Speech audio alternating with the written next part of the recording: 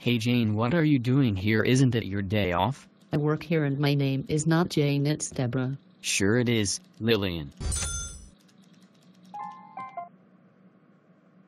Hey Susan, what the fuck are you still doing here? The office is off limits for people like you. Calm down, dickhead. We all loads of work to do. Why can't I work late?